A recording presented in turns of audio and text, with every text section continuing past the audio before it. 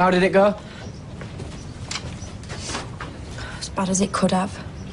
How do you mean? He hardly spoke to me. Well, what did the social worker say? That it's normal when you've not seen him for a bit. Well, there you go. He were more interested in Becky than me. Babe, these things are just going to take time, that's all. I'm not sure it's worth bothering with.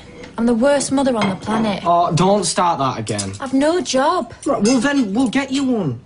Where? And don't say your grand's. Look, when I were on this course, they kept telling us just to focus on what you're good at. Getting wrecked and making enemies. Come on, be serious.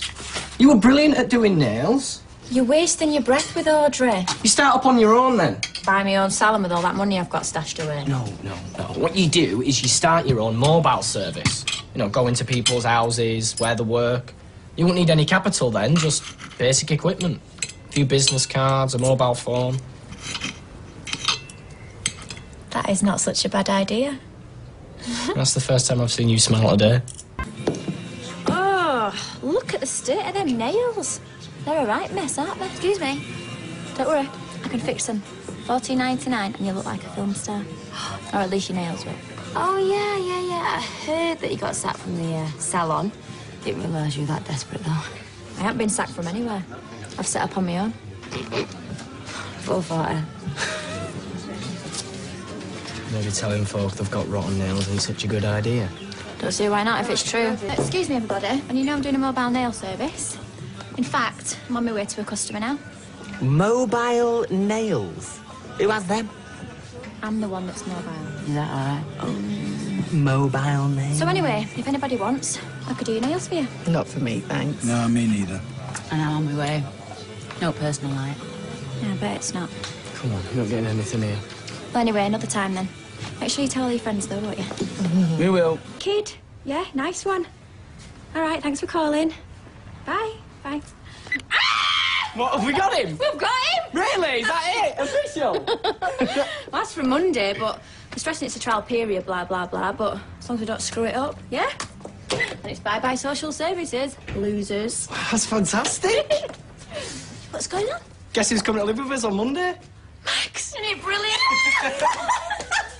Yay! You haven't seen Eva, have you? Standing in the back. What are you lot doing here? Celebrating? Right, I should be thinking of something witty to say, but what are you celebrating? Well, as from Monday, we get full custody of Max. Oh, that's uh, great news. Congratulations. Here, look, uh, have a drink on me. Oh, well, uh, at least you can put it towards one. I'm touched. No, I'm happy for you. Really. Cheers. Look, Mum, you don't fancy another bash at waitressing, do you?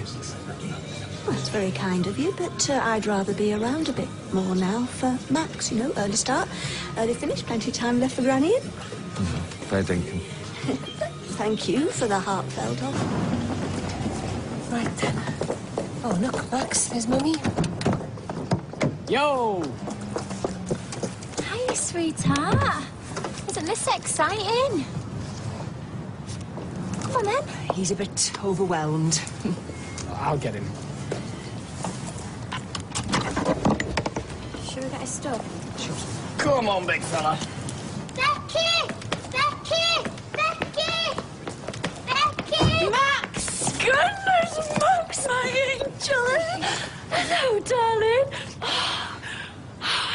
Happening? Don't spoil this for us, Becky. All right, you take him in. Come on, sweetheart, let's get you inside. Out the cold. Good boy, come on. He's coming to live with us. You weren't going to tell me. Oh, we want him settled. We want him happy. With us.